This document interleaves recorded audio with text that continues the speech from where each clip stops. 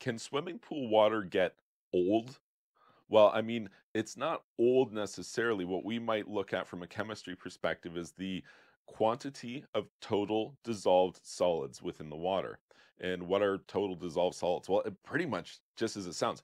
Anything that we've put into the water, which has now dissolved into the water, has increased the dissolved solids level. For example, if we took some salt and we poured it into your pool, and then that salt dissolved into the water, measurably, we have increased the total dissolved solid level in your pool. So, what's a good level to have? What's a problematic level? Well, there's a couple of different schools of thought about this, but uh, typically speaking, about 2,000 to 2,500 parts per million total dissolved solids is the upper end of what's acceptable.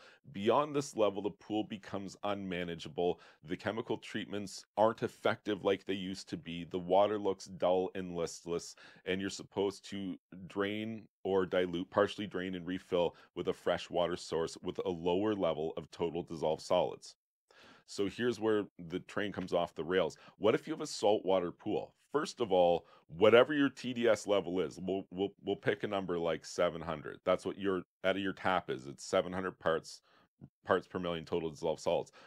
Okay, so now we add 3000 parts per million of salt to the pool. So now your TDS level in theory is 3700 parts per million.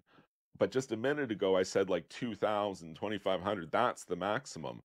So what's the deal with saltwater pools? Well, that's part of the problem with saltwater pools. It's not necessarily a problem. It's just it, it makes you deviate from the original uh, chemistry information, which might apply to swimming pools. If you have a saltwater pool, obviously you can't drain and refill it when you reach 2,000 parts per million of total dissolved solids because you need 3000 parts per million of salt just for your salt chlorinator to operate. And so that's kind of the deal with water in swimming pools and how it gets old.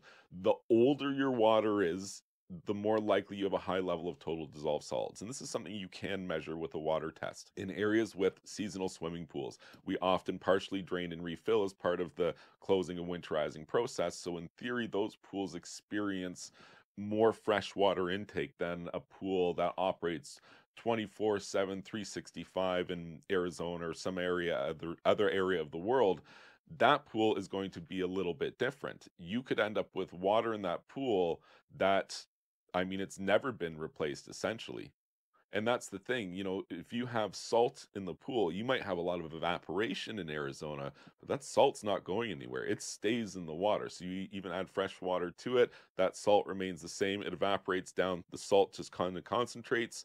You refill with fresh water.